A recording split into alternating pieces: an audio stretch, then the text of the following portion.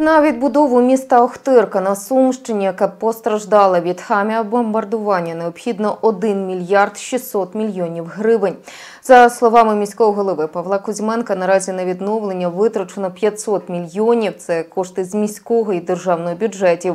А також благодійні надходження їх скерували на ремонт ТЕЦ, альтернативне живлення для районної лікарні та відновлення пошкоджених навчальних закладів. Крім того, місту допомагають міжнародні гуманітарні фонди, які надають будівельні матеріали, вікна, генератори та комунальну техніку.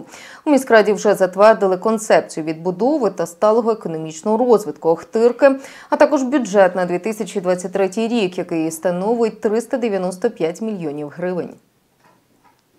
підтримка наших військових, які нас обороняли, і недопущення, ну е, там пишуть гуманітарної кризи, будь-якої кризи у нашій громаді.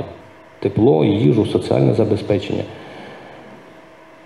часткову відбудову після страшних руйнувань і навіть деякий розвиток і якусь певну стабільність. Кошти резервного фонду спрямовані в першу чергу на відновлення зруйнованого житла, житлового фонду, капітальний ремонт п'яти багатоповерхових житлових будинків та на об'єкти, які потребують капітального ремонту або реконструкції.